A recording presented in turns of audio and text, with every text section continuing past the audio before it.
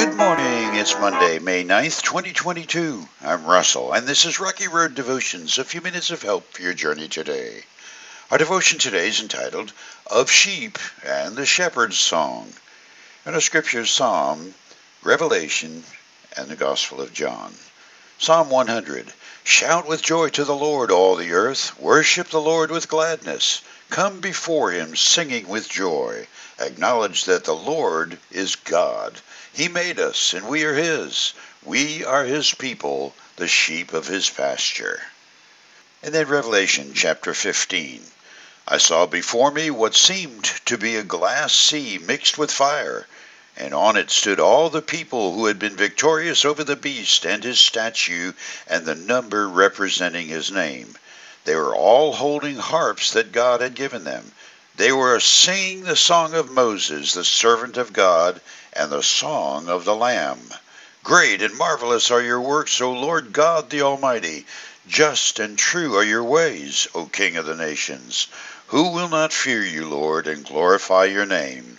For you alone are holy. All nations will come and worship before you, for your righteous deeds have been revealed. And then John's Gospel, chapter 10. My sheep listen to my voice. I know them, and they follow me. The imagery of God's people as sheep is plentiful in Scripture and a common metaphor for those who follow the shepherd. Less on the front burner is that of a chief shepherd who is also a sheep. Yet the connection is unmistakable. In any account of the incarnation of Christ, he's the lamb who will be slain, a sacrifice for sins. The shepherd is also a sheep. Leaping from the incarnation to the eschaton, the last days, and of Christ's coming and our gathering round the throne of God to worship the Ancient of Days, the meaning of, My sheep hear my voice and they follow me, is Revelation's flock singing the song of Moses and the Lamb.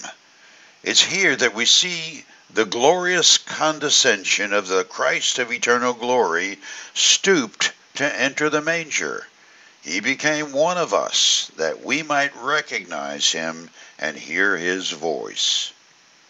While in seminary in the port city of New Orleans, our family hosted two Japanese officer trainees for a day.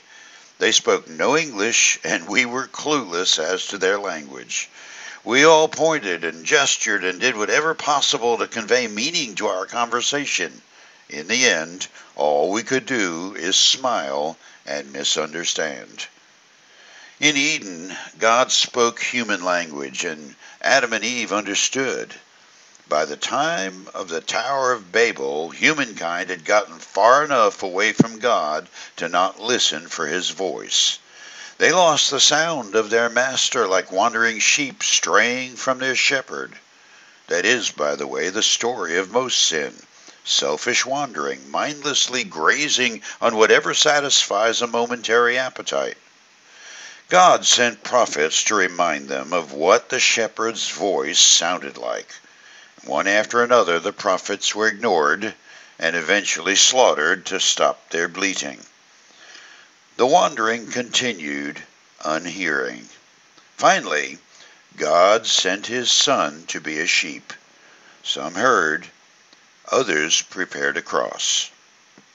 In the final account of Revelation, the continuing eternal story of after the end, the restored Eden will be filled with the sound of God's flock singing the song of Moses and the Lamb.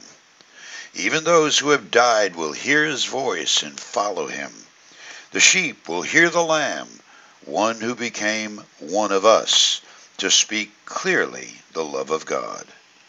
For you today, one day our journey will be complete and the flock will lie down together in perfect harmony with all creation. And we'll sing. We'll sing the song of the Lamb throughout eternity, and we'll be on key in perfect harmony. You chew on that as you hit the rocky road with Jesus. Have a blessed day.